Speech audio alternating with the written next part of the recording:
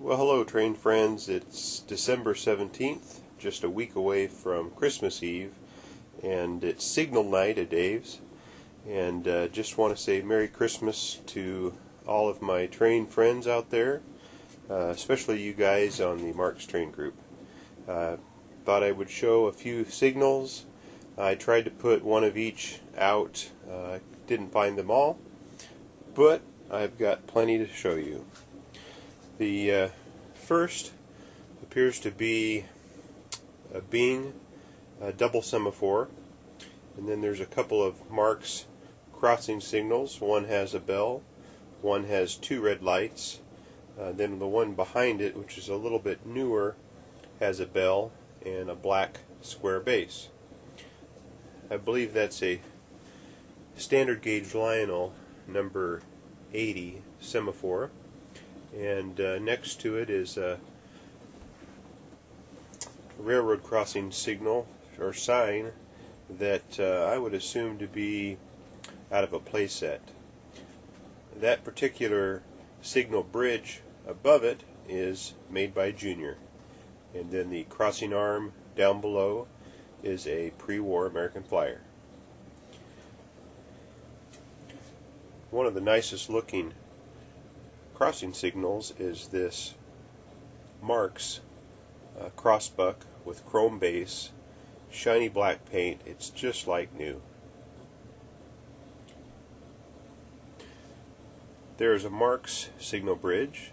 In front of it is a large American Flyer double arm semaphore and a pre-war semaphore that's manual, and that's also American Flyer. He's added a lot of play value to the early American Flyer sets. Here's another American Flyer block signal.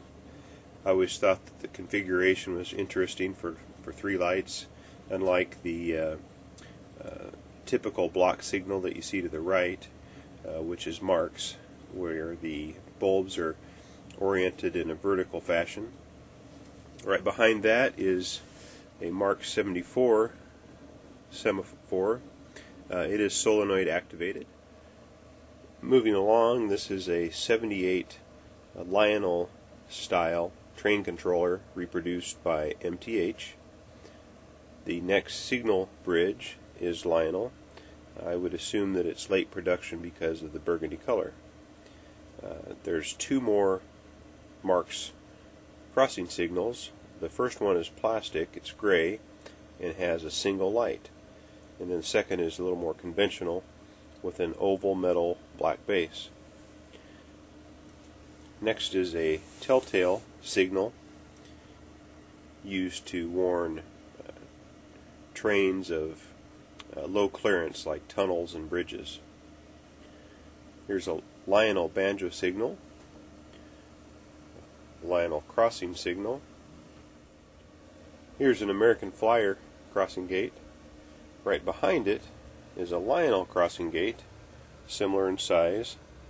Out front is an American Flyer banjo signal. And right behind is yet another variation of a Marx crossing signal. This is a manual signal with jewels for lights.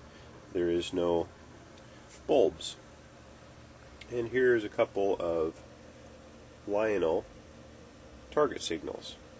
Uh, one is post-war, and the other is more modern.